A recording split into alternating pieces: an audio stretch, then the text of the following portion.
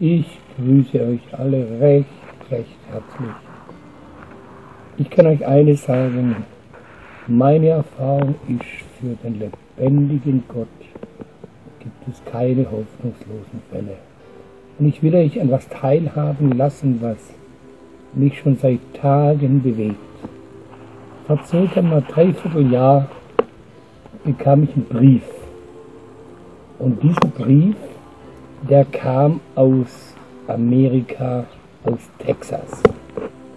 Ich habe mich gewundert und auf, irgendwo auf meinen Touren gab es eine Mutter und die hat mein Buch gekauft und hat mich gebeten, ich soll doch ihrem Sohn etwas hineinschreiben. Ich wusste nicht, wer der Sohn war und ich habe hineingeschrieben, dass für den lebendigen Gott es keine Hoffnungsfälle gibt und einfach, einfach und habe mutmachende Worte ge geschrieben und die Mutter schickte dieses Buch nach Amerika, nach Texas, ins Gefängnis.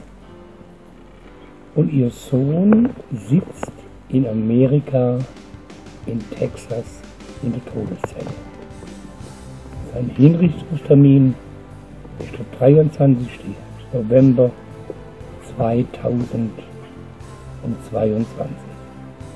Jetzt hat er mein Buch gelesen, hat meine Widmung gelesen und stellt euch vor, er hat sein Leben Jesus gegeben.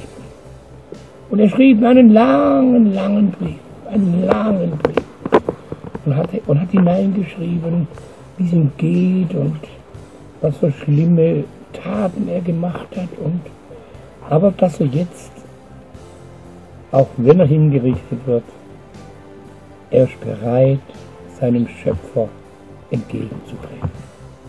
Ich sage euch ehrlich, das hat mich sowas von bewegt. Ich habe zurückgeschrieben, das Einzige, was ich machen kann, ist einfach beten, dass er ihm die letzten Monate noch Gnade schenkt. Und vielleicht können wir beim Gouverneur noch was erreichen. Ihr Lieben, es kam wieder ein Brief. Es kam wieder ein Brief.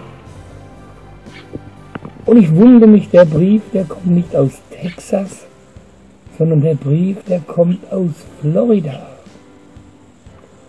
Und stellt euch mal vor, der Gouverneur von Texas hat die Todesstrafe aufgehoben und jetzt hat er nur noch 98 Jahre vor sich. Ich habe das meiner Frau erzählt.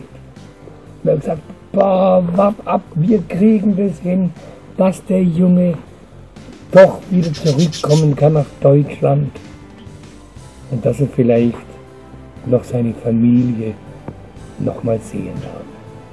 Ihr Lieben, wir ahnen nicht, egal mit welchen Problemen wir zu Jesus kommen, egal was uns betrifft, egal was uns beschäftigt, wir haben einen Herrn und Heiland im Himmel, der hinter uns steht, der uns an der Hand nimmt und der uns auch durchführt durch das finstere Tal. Das wollte ich euch einfach mitteilen und ich bin dem Herrn so dankbar, was er an den Menschen tut. Ihr Lieben, ich grüße euch alle recht herzlich. Euer Wilhelm Bunz, besser bekannt als der Bibelhaus.